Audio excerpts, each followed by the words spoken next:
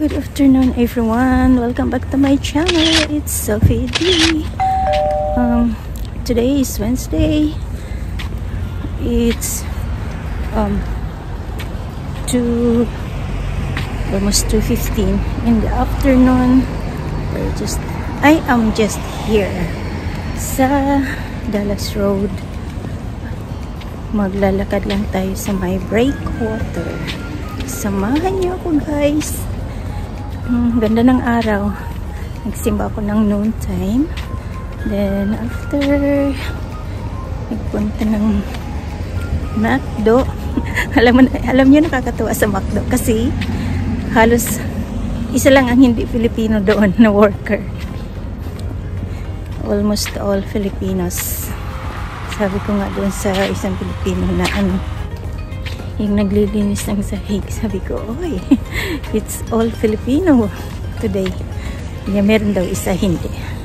So, di ba? Marami na kasing estudyante dito uh, sa Canada. Uh, karamihan sila sa kanila guys, ano, mga uh, business ad ang mga kinukuha nila sa University of Victoria. I think um, hindi sila nag-agency yung mga nakilala ko yung mga bagong nag-CLP sa handmaids last Sunday hindi sila nag-CLP mga yung isa doon galing ng Qatar yung isa CPA sa Pinas at tapos yung sorry uh, yung iba hindi ko pa sila nakilala. Pero yun God is good nakasama namin sila sa ano last Sunday sa aming gathering. Oh back to ano pala. Kung gusto niyo guys mag-aral magpunta dito. Punta kayo sa ano search niyo yung group chat nila na uh, international students ng Philippines. O UVic University of Victoria. Um, at saka mag-join kayo doon. And then pwede kayo magtanong kung anong mga requirements sa kanila kasi mga updated sila. Um, yun if you are just only interested. And ngayon bago lang na-approve na yung ano, unlimited na yung working hours. Kasi yung mga nag-work sa uh, sorry ang mga students uh, granted na sila na mag-work ng ano, more than 20 hours. So, kumbaga, unlimited na. So, nasa sa iyo na lang. Pero, huwag nyo naman ubusin ang oras nyo sa pagtatrabaho and then mag-aaral kasi uh, kawawa din yung katawan nyo in the future. So, uh, i-balance nyo lang. So, that's it. Tama. Ah, sorry. Nabobalals na catch. Ang ganda lang ng tubig clear pero medyo madumi lang ng konti. You.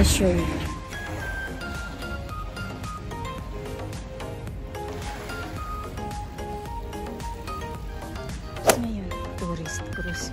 Walang cruise ship. Yan, aso ata yan. Naka-walker.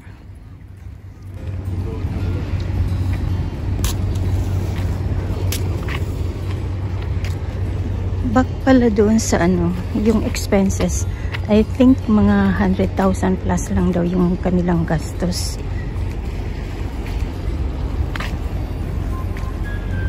ng ano, bawat isa. So, it depends kung saan kagaling kasi yung yung isa noong anak member sa handmaids is yung isa taga Cebu member ng handmaiden and yung isa taga Naga ang isa naman ay sa Kamarin hmm, restaurant.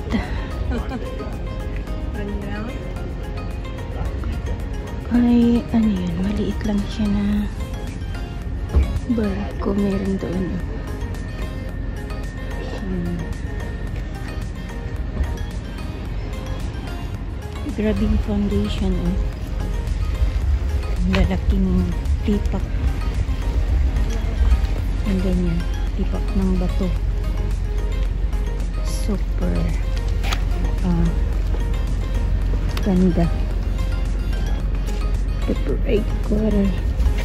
Siguro meron mamaya cruise ship. Kasi maraming bus din. Low tide. Kaya parang ang dumi lang tingnan.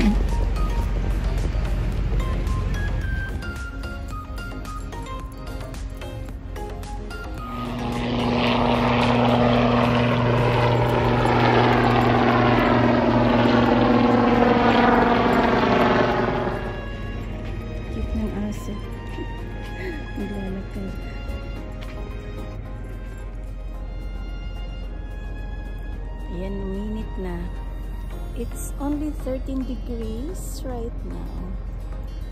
Pero may init. Ay, malapit na tayo guys sa Parola. Dear.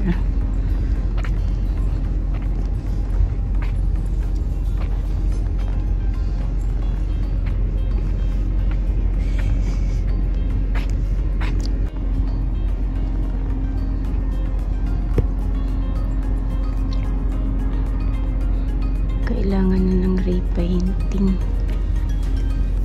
Painting.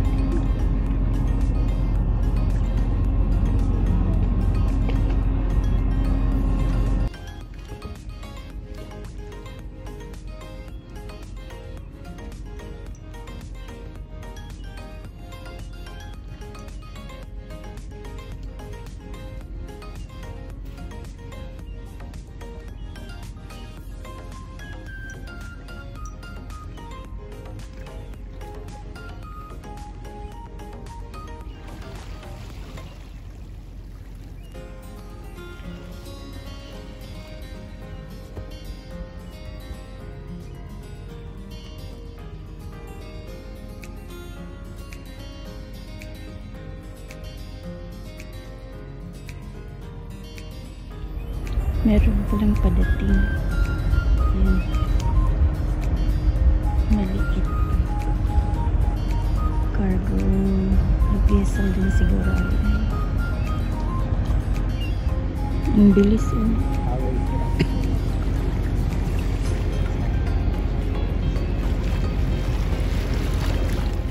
Ang cute niya.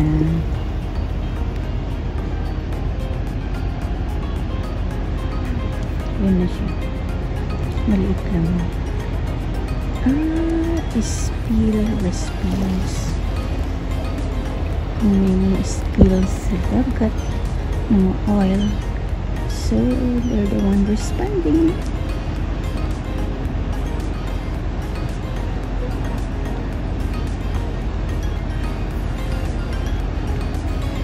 Ayun na siya, ang bilis.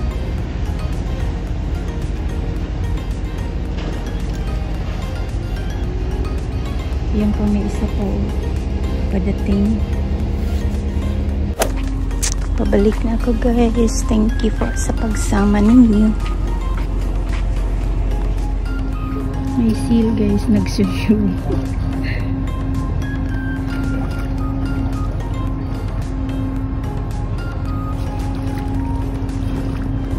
Isa lang siya. Cute naman.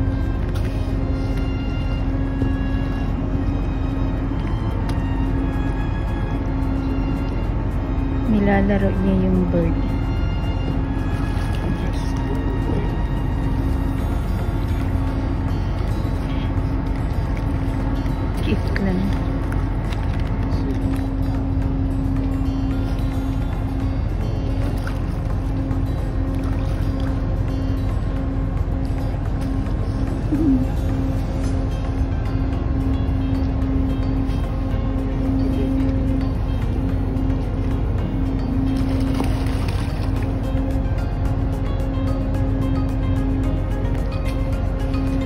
There's lots of small fish. That's why. The dark, the dark one, it's yung maliliit one, yung maitim. Parang binabantayan niya yung bird na huwag kainin yung maliliit na. Yung maitim guys, ano yan siya? Parang labo. Labo sa atin. kumakain din siya. Ano ba? Ayun. Para siyang mga bilis.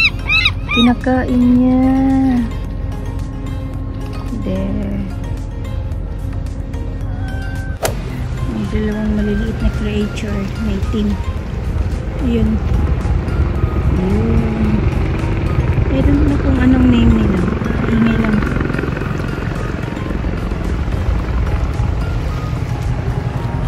Dati mer marami niyan doon kina George, yung sa kli kinikliningan ko noon. Malalaki yun. Ito maliliit naman.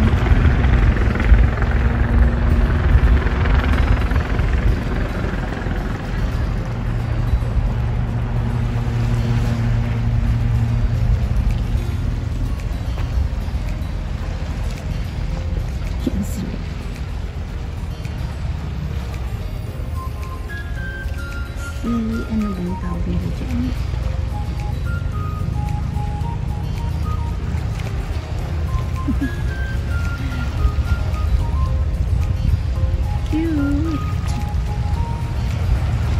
Ganyan na lang yung focus niya guys. Hindi na siya ma ano, ma-zoom.